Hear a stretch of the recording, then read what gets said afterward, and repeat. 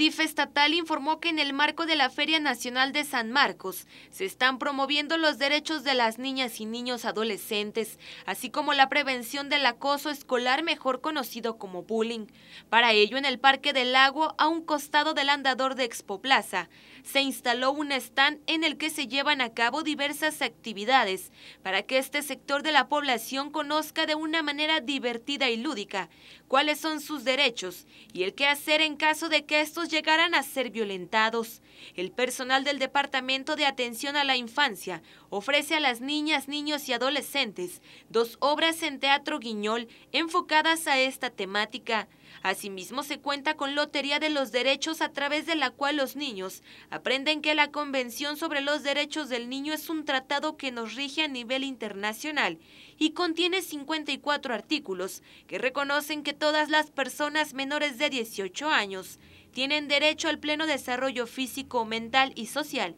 y a expresar libremente sus opiniones. Para informativo, Claudia Cárdenas.